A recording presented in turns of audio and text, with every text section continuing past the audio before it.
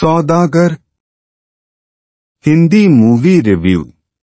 सौदागर 1973 की एक Bollywood drama film है, जिसका निर्देशन सुधेंदु रॉय ने किया है और बंगाली कहानी रास पर आधारित है नरेंद्र नाथ मित्रा। इसमें नूतन ने महजुबीन और अमिताभ बच्चन ने मोती के रूप में प्रमुख भूमिकाओं में अभिनय किया है। इसमें फूलबानू के रूप में त्रिलोक कपूर और पद्मा खन्ना भी थे। फ़िल्म में बड़ी भी के रूप में मुराद देव किशन जुगनू और वी गोपाल भी हैं। हालाँकि फ़िल्म ने व्यावसायिक रूप से अच्छा प्रदर्शन नहीं किया, लेकिन इसे छियालीसवें अकादमी पुरस्कारों में सर्वश्रेष्ठ विदेशी भाषा फ़िल्म के लिए भारतीय प्रविष्टि के रूप में चुना गया था, लेकिन नामांकन प्राप्त नहीं हुआ। अमिताभ बच्चन द्वारा अभिनीत मोती एक गुड़ है। जिसका अर्थ है, अपरिष्कृत केंद्रित गन्ना चीनी व्यापारी जो खजूर से बने मौसमी गुड़ का व्यापार करता है।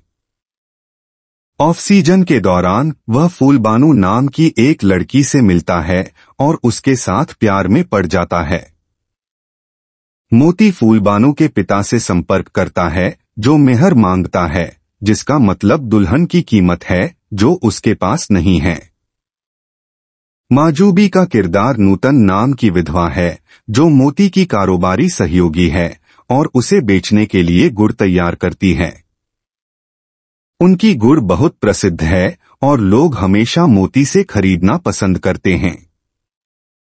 मोती मजूबी से शादी करने का फैसला करता है ताकि उसे उसे भुगतान न करना पड़े और इसलिए वह अधिक से अधिक बचत कर सके।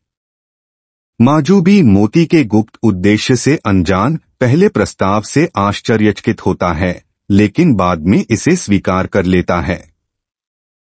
सीज़न के अंत में, मोती मेहर के लिए पर्याप्त बचत करता है और मजूबी को तलाक दे देता है।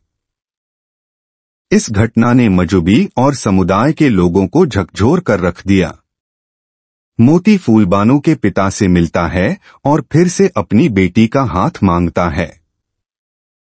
मेहर से संतुष्ट होकर वह अपनी बेटी फूलबानू की शादी मोती से कर देता है। गुड़ का मौसम आने तक सब ठीक है। फूलबानू गुड़ बनाने में भयानक है और मोती के ग्राहक उसकी दुकान से खरीदना बंद कर देते हैं। इस बीच एक मछली व्यापारी माजूबी से शादी करने के लिए कहता है। वह उसके साथ ईमानदार है कि उसके छोटे बच्चे हैं और चाहता है कि मजूबी उनकी देखभाल करे। वह हमेशा उसके साथ शिष्टाचार के साथ व्यवहार करता है। गुड़ के मौसम का लगभग अंत हो चुका है और मोती उस वर्ष अच्छा लाभ नहीं कमा पाता है। एक दिन फूलबानू बीच में गुड़ बनाकर नहाने के लिए छोड़ देता है, जब मोती आता है और देखता है कि गुड़ जल गया है। वह फूलबानू को डंडे से बुरी तरह पीटता है। अब आखिरकार उसके पास माजूबी से अनुरोध करने के अलावा कोई अन्य विकल्प नहीं बचा है कि वह उसे बेचने के लिए गुड़ के कुछ वट बनाए। वह खजूर के अमृत के दो डिब्बे लेता है और मजूबी से उसके पति के घर जाता है और उससे अनुरोध करता है कि वह उसे बेचने के लिए कुछ गुर बनाए। उनके बाद फूलबानू का नंबर आता है। पहले तो माजूबी मोती को देखकर बहुत गुस्सा होता है, लेकिन समझ जाता है कि वह दयनीय हालत में है और अप्रत्यक्ष रूप से उससे माफ़ी मांग रहा है।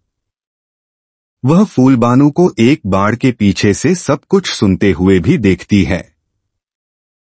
जैसे ही दोनों महिलाओं की आँखें मिलती हैं, वे रोने लगती हैं और एक दूसरे को प्यार से गले लगाती हैं। फ़िल्म इस दृश्य के साथ समाप्त होती है।